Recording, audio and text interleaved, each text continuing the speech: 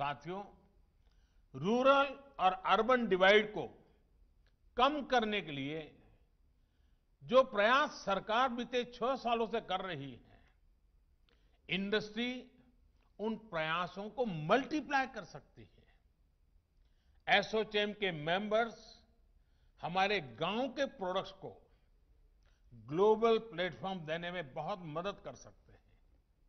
आजकल आप देखते सुनते होंगे कि कोई स्टडी आ, आ गई कि इस चीज़ में बहुत प्रोटीन है ये बहुत प्रोटीन रिच है तो लोग उसे खाना शुरू कर देते हैं।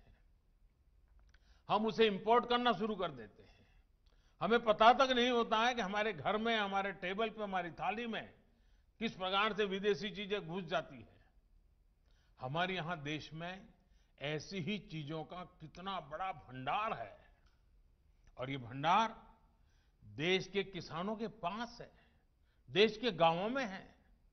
हमारी ऑर्गेनिक फ़ार्मिंग, हर्बल प्रोडक्ट्स, ऐसी बहुत सी चीज़ें हैं जिन्हें एसोचैम द्वारा प्रमोट किया जाना चाहिए। दुनिया के बाज़ार में भारत की पैदावारों का डंका बजना चाहिए। इनसे जुड़े कंपटीशन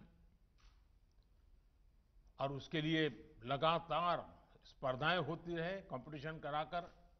इनका प्रचार प्रसार करके इनके स्टार्टअप्स को बढ़ावा देकर आप ये कर सकते हैं।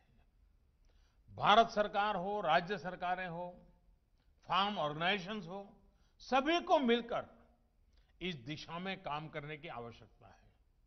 अगर हमारे फार्म सेक्टर को बेहतर प्रमोशन मिले, बेहतर इंफ्रास्ट्रक्चर मिले, बेहतर मार्केट मिले तो हमारी पूरी ग्रामीण अर्थव्यवस्था बुलंदी पर पहुँच सकती है।